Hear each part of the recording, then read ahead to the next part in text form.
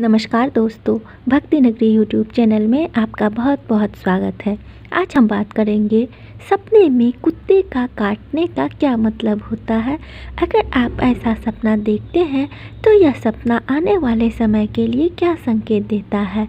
ऐसा सपना देखना हमारे लिए शुभ होता है या अशुभ? आइए जानते हैं इस वीडियो में।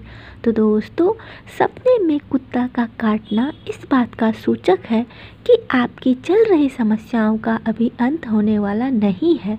आपका कठिन समय अभी जारी रहने वाला है। साथ ही यह सपना संकेत करता है कि आने वाले समय में आपका मित्र आपके साथ छल कपट कर सकता है, आपको धोखा दे सकता है।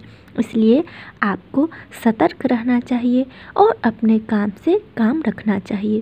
किसी पर भी आँख बंद करके भरोसा नहीं करें।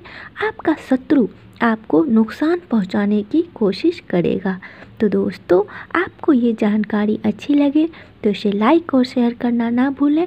और अगर हमारे चैनल को सब्सक्राइब नहीं किया है तो सब्सक्राइब करके घंटी को ज़रूर दबा लें ताकि मेरी आने वाली वीडियो आप तक पहुँच सके और आप हमेशा हमारे साथ जुड़े रहें। धन्यवाद। ओम नमः शिवाय।